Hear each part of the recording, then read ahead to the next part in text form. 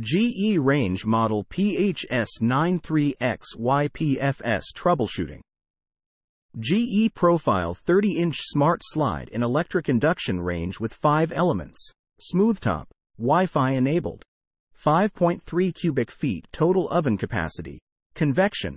Delay bake. Self-cleaning mode. Storage draw. Troubleshooting. Step 1. Make sure your GE electric oven controls are set for either bake or broil if the oven does not heat, but the burners do heat.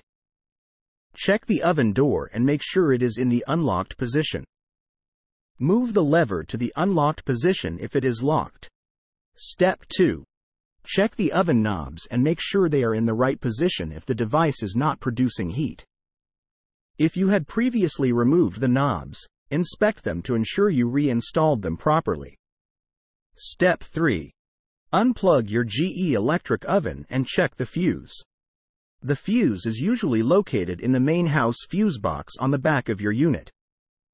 The location may vary with different models, so refer to your unit's manual. If the fuse looks smoky or black, it is likely blown. Replace it. Purchase a fuse from a retail, hardware, or appliance store. Bring the old fuse to a store so a representative can help you purchase the right replacement. Step 4. Insert the new fuse in the fuse box by pushing it into the holder until it snaps into place. Step 5. Check the burner caps on your GE oven and make sure they are properly fitted in the compartments. Make sure they are perfectly seated and do not wobble.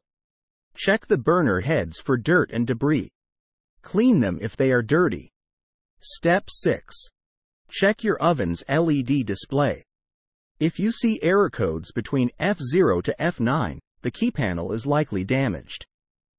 These error codes could also mean the electronic control must be replaced.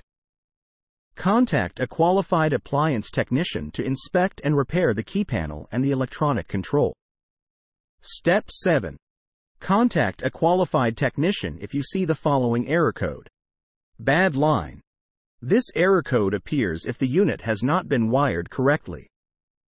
If you see an FD or FC error code, the probe or receptacle must be replaced. Replacing these components is very difficult, so contact a qualified technician.